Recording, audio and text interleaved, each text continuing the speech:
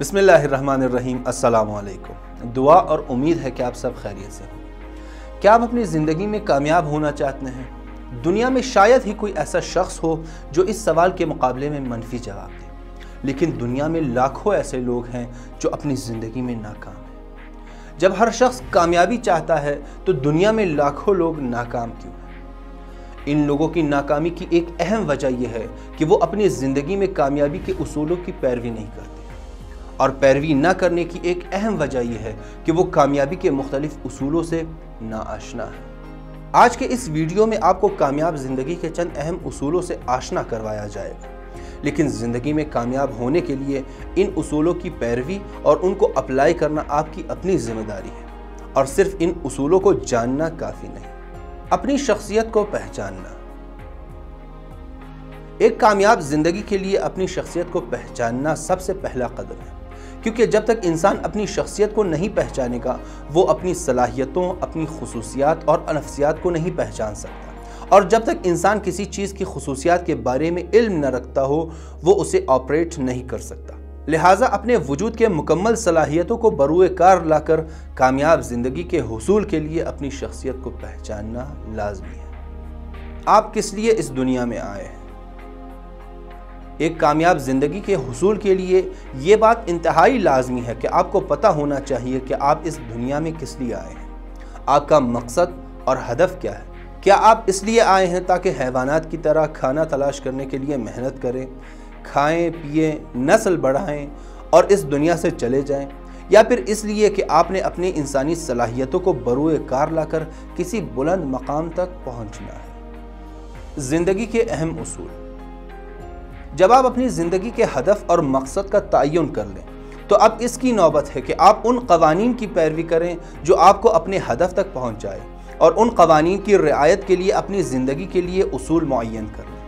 مثال کے طور پر، کسی کی غیبت سننا آپ کو اپنے ہدف سے دور کرتا ہے، تو آپ کو اپنے لیے یہ اصول معین کرنا چاہیے کہ جو بھی میرے سامنے کسی کی غیبت کرے، میں اسے بہترین اور باعدب انداز میں اس کام سے منع کروں۔ اور اس طرح کے مختلف اصولوں کو اپنے لیے ڈیفائن کریں۔ آپ کی ضروریات کیا ہیں؟ اب جب آپ اپنے مقصد کو سمجھ چکے ہیں، تو یہ سمجھنا لازمی ہے کہ اس ہدف تک پہنچنے کے لیے میری ضروریات کیا ہیں۔ مجھے کن کن چیزوں کی ضرورت ہے؟ میری روحانی ضروریات، میری نفسیاتی ضروریات اور میری جسمانی ضروریات۔ اور ان ضروریات کو پوری کرنے میں کوتاہی نہ کریں۔ کیونکہ ان میں سے ہر ایک میں کوتاہی آپ کو اپنے ہدف اور مقصد سے دور کرنے کا ایک اہم مقدمہ بن سکتا ہے۔ احساسات کی پہچان۔ زندگی میں کامیاب ہونے کے لیے اپنے احساسات کو پہچاننا بھی انتہائی لازمی ہے کہ میں کس احساس کے حوالے سے مضبوط ہوں اور کس احساس کے حوالے سے کمزور۔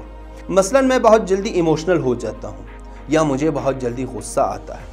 تو میں اس میں کمزور ہوں اور مجھے اس حوالے سے محنت کی ضرورت ہے تاکہ میں اس حوالے سے مضبوط اور طاقتور بن سکوں، کیونکہ ان میں سے ہر کسی میں کمزوری مجھے کامیاب زندگی سے میلوں دور لے جا سکتا ہے۔ عادتوں کو پہچاننا۔ انسان کی عادتیں انسان کے وہ اعمال اور افکار ہیں جنہیں انسان شعوری یا لاشعوری طور پر کثرت سے انجام دیتا ہے۔ ان میں سے بعض مثبت اور بعض منفی ہیں اور ان کی پہچان بہت ضروری ہے۔